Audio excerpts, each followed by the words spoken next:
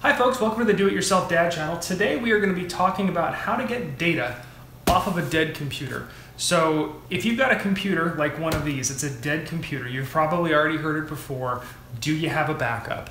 Um, I'm not going to beat this to death because you wouldn't be here if you had a backup. So if you haven't already, click on that subscribe button down below. Give this video a great big thumbs up because we're going to try to help you out the best way we can without making this too complicated. So if you have a computer that won't start, it could be a couple of things. There could be actually something wrong with your hard drive, or it could be something else wrong inside the computer.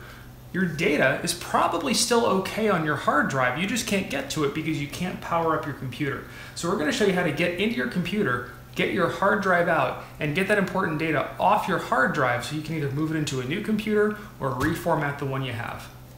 So with pretty much every computer, you're gonna have to figure out how to get to your hard drive. And this is the same whether it's a Mac or a PC, just look it up uh, depending upon what kind of computer you have. Here we have a uh, Lenovo ThinkPad. And this guy has a little screw here and the hard drive comes out right out the side there. So that's for a laptop. A lot of times you'll find these little hatches. This is an older MacBook. You flip it over, and in here where the battery is, there's a little compartment there, and the uh, hard drive is actually stashed away right there. Uh, we're going to show you in a sec on this big desktop how you're going to get to it on the big desktop. So most desktop computers are going to have a side panel like this that can open up. And here on this Dell, there's this little lever. You pull that guy, and it pops it open just like the hood of a car. Other ones will have screws along the back. If you can't figure out how to get in, just look up on the internet how to open up the case of your computer.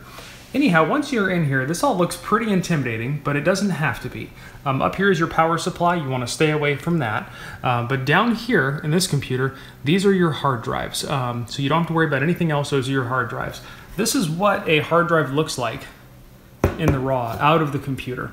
And then depending upon what kind of computer you have, the Dells are real easy. They have these little pinch guys. You can just slide the hard drive straight out. Otherwise, you will have to unscrew.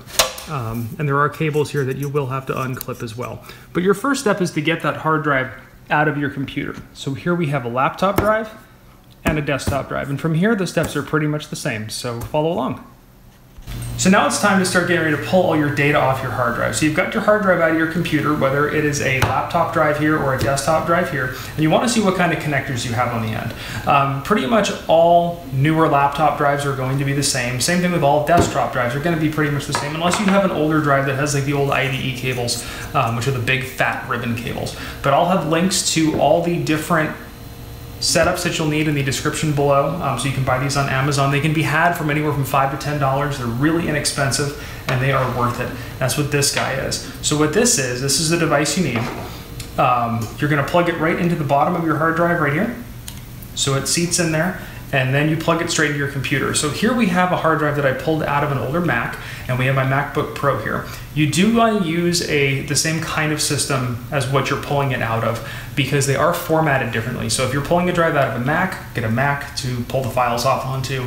If you're pulling it out of a PC, same thing, get a PC to uh, pull the files off onto.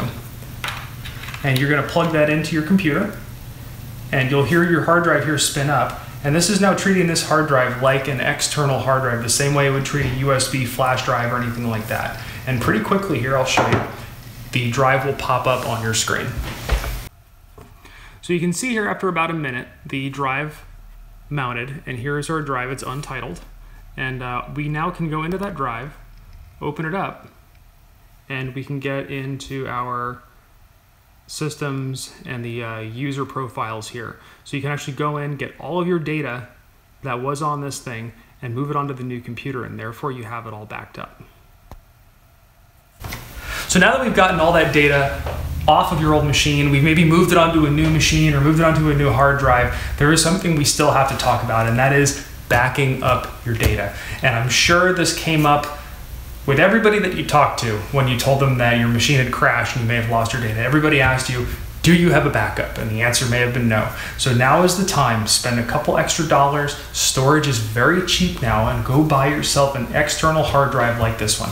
This is a two terabyte hard drive. They are not that expensive. If you don't want to go this route, there are plenty of online options as well for um, backup storage. You can use Google Drive or iCloud, or you can use one of the many different backup options, but make sure you are backing up your data so you don't wind up in a situation like this again. So anyway, if this video was a help to you, give me a great big thumbs up on this video, leave a comment down below, and uh, be sure to share our video. Thanks for watching.